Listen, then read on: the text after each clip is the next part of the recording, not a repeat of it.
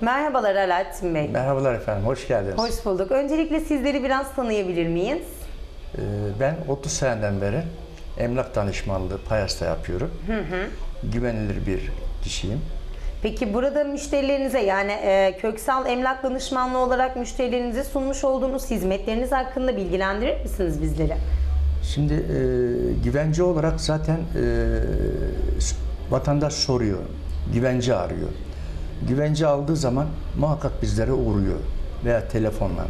Yani Türkiye'nin genelinde e, gayrimenkulü burada olan, Payas'ta yatırım yapan, eden bizlere başvurmaktadır.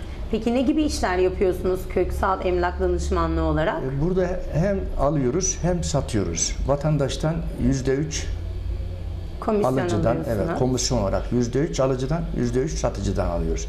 Ama bazı şeylerimiz olabiliyor. Yani yüzde ikiye de düşebiliyor. Büyük bir meblağ olduğu zaman da yüzde bir komisyon alabiliyoruz.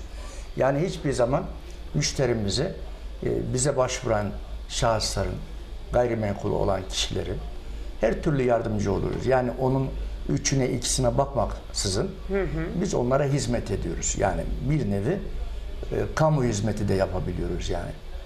Vermiş olduğunuz bilgilerden dolayı teşekkür ediyorum. Ben Nice bol kazançlı günler diliyorum. Ben teşekkür ederim geldiğiniz için. E, Kanal T'ye de teşekkür ederim. Biz teşekkür ederiz. Evet, saygılar sunarım efendim.